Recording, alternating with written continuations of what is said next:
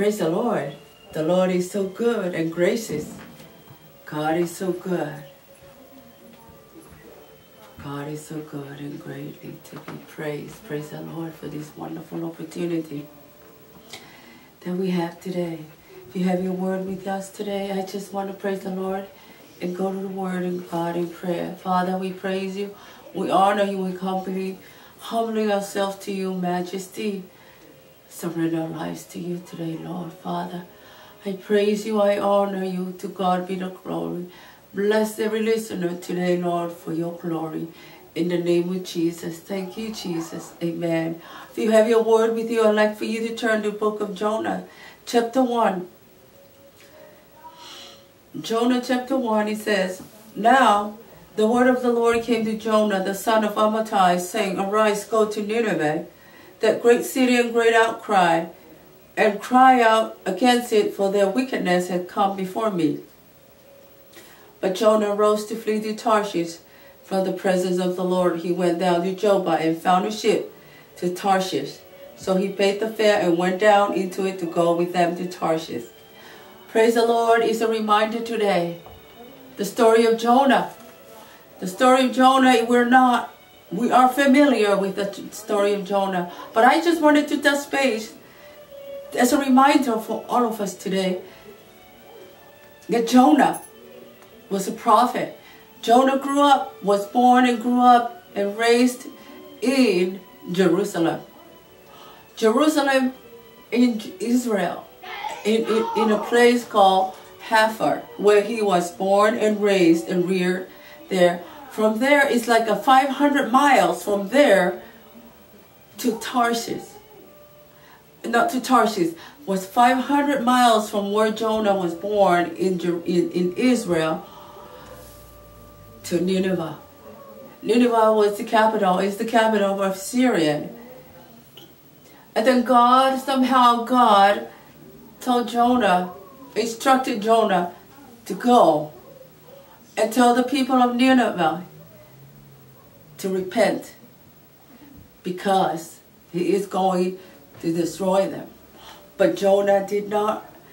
Jonah in his heart, being a, being an Israelite, in his heart he was thinking like, why do I need to go? Because the people worshipped idols. The people worshipped idols. And not only they worship idols, they're Israel's enemies. And this goes like that Jonah, in his heart, he wanted God. He was feared. He was feared that if he goes in his heart, he wanted God to punish the people of, of Tarshish, of Nineveh. In his heart, he said, God, why do I need to go? Why don't you destroy them? Because in his heart, he was feared that God would have mercy on such a wicked people as the Assyrian is. But Jonah forgotten three theological truths. Jonah, Jonah forgotten that God created everyone. That God raised up the Israel to be a, to be a blessing to all nations, to everyone. Jonah forgotten that God desired for everyone to have a relationship with Him. So many a time believers, we're just like Jonah sometimes. We think like, God, I don't want to forgive this and that. Why should I go be the first one to repent? This and that, this, this to me. But see, we've forgotten that God created your best, worst enemy today. God created everyone. That is in a mentality of Jonah. Growing up in Israel, Israel was the enemies. Was uh, Assyrian was the enemies of Israel to this day. But he forgotten. Sometimes we're like Jonah. We've forgotten that God created everyone. And Jonah forgotten that God raised up Israel to be a blessing to all people. But yet, God loved Jonah. He showed his great love through discipline. Praise the Lord. Hallelujah. Through discipline. When Jonah, God showed his great love through discipline. God sent raging waters. God sent storming ocean was storming, sent this the havoc in the ocean. Want Jonah to bombard it. You know, he said God sent the storm to bombard it, the ship that Jonah that he was in. Praise the Lord. And you know what happened? While he was sleeping in the saloon, you know the story. The sailors cast lot. And the lot indicated on Jonah while he was sleeping in that in, in the saloon. And Jonah said, and the people were saying, and the sailor was saying, My why are they storming? Why are these raging waters? We're going to drown. That is coming against us. Let's cast lot. And the lot fell on Jonah. And Jonah said to them, I am the one that caused all this raging, storming weather that is coming on you to destroy you because of me. In Jonah's instance, insistence that they threw him over to the raging waters of the ocean, thinking he'll die and end his life there. That he'll be drowned and he'll be gone and never come back. Yet in his life, this uh, disobedient prophet, this, uh, this disobedient prophet, God still rescued Jonah. God prepared a big fish to rescue Jonah. Praise the Lord. Hallelujah. Disobedient prophet finally come to his sense. Finally come to his sense. Repentance, disobedience, and repented his disobedience to God from the belly of the fish. God was not finished with that, with Jonah. The story says that the belly of the fish would smell like grave. The grave would smell not good. But it took the disobedient prophet inside the belly of the fish, inside the fish, the belly of the fish, to, to, to uh, regret his disobedience and repented from the fish belly. And God heard Jonah. Jonah. God, God heard Jonah's cry and he let the fish, the shark or the fish, vomit Jonah to the dry land. Hallelujah. How many times of us that we've been through here and there that God still come to rescue us from our ups and downs. But then Jonah is a good example to us. God rescued Jonah through the belly of the fish, from the belly of the fish, and vomited him to the dry land. Hallelujah. Praise the Lord. And then what happened?